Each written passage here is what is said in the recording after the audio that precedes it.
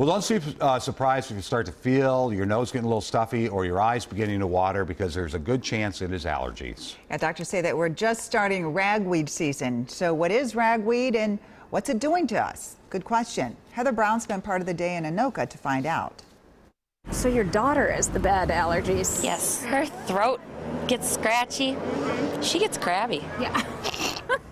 so allergies are no fun for you. No. It's not really fair. Usually around when school starts is when it is when it starts again. Between 10 to 20% of us are allergic to ragweed, or more specifically, it's tiny tiny powder that gets into the air. It's the pollen that people are allergic to. Dr. Aaron Pinion is an allergist with Fairview Clinics. Each plant produces millions of pollen granules. Still find somebody's nose or eyes or lungs to deposit on, and then that's when it causes allergy symptoms. This morning I had a headache. My throat tends to get sore. I stepped outside and I sneezed like maybe four or five times in a row, and it was just, it was nuts. What is ragweed? So ragweed is a, it's a weed. It grows in the ditches, uh, found on the side of the roads. It's found on any sort of woodland area. We do go to the to northern Minnesota to the lake, and there's definitely a lot of ragweed up there. Ragweed pollen is very light and will get up in the air and blow for miles and miles and miles. So you may try to avoid it, but it, it will find you. He recommends using over-the-counter antihistamines or nasal steroids. We should start them right now, even though we're not quite at the height. Exactly. I'd start them now, get out in front of it, and that way you're not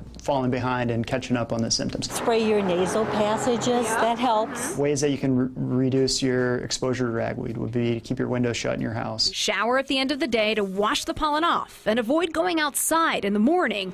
That's when ragweed pollinates and will continue to do so from now until the first freeze. And then sadly the cold comes and then mom's crabby. Heather Brown. Yes. WCCO. We can't win, can we? No, we can't. 4 News.